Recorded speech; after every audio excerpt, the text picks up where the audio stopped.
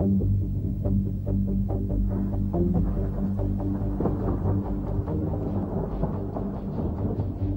primer lugar, reciban un cordial saludo eh, a las autoridades eh, que nos están viendo, a los profesionales y a todos los interesados.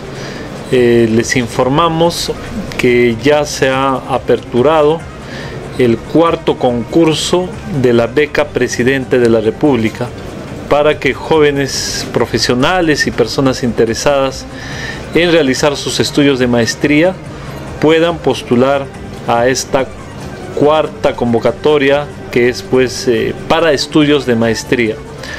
Los requisitos que deben presentar son los siguientes. Primero, que tengan eh, el título profesional, ¿no? una carrera que ya hayan concluido. Eh, asimismo, que tengan la carta de aceptación de una de las 400 universidades top del mundo.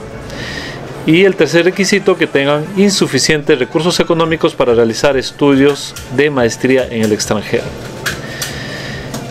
Es muy importante señalarles a todos los interesados en este cuarto concurso de la beca Presidente de la República eh, que estén interesados en realizar su maestría en Estados Unidos, en Francia, Alemania, Inglaterra, en Holanda, en Australia, en México, en España, en Chile, en Argentina, en Colombia y en Brasil a que postulen a través de la página web www.pronavec.gov.pe o visitar a las oficinas regionales que tenemos en todas las regiones del país, incluidos el eh, Braen en Pichari Mazamari y también estamos abriendo en el Guayaga.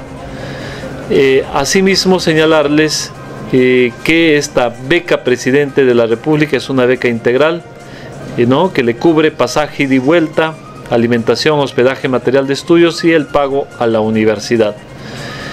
Es muy importante señalarles que esta beca se prioriza para los profesionales de los distritos más alejados, de los distritos que estén en pobreza extrema, de las provincias más alejadas y de las regiones de nuestro país.